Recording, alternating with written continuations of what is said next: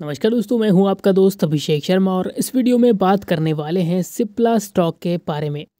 तो शुरू करते हैं आज के 15 मिनट चार्ट की, अगर मैं बात करता हूँ, करीबन एक परसेंट की तेज़ी स्टॉक ने बनाकर दिखाई है।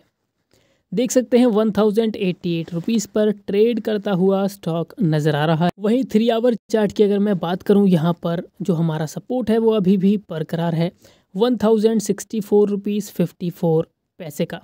तो इसको as a stop loss use करके चलना है। देख सकते हैं धीरे धीरे एक रिकवरी मोड में स्टॉक आ चुका है।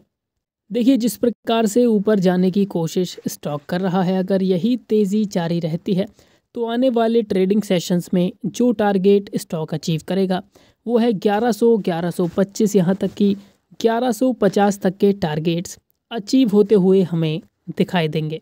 तो अगर आपके पोर्टफोलियो में पहले से ही सिप्ला स्टॉक होल्ड है कंटिन्यू होल्ड करके चल सकते हैं।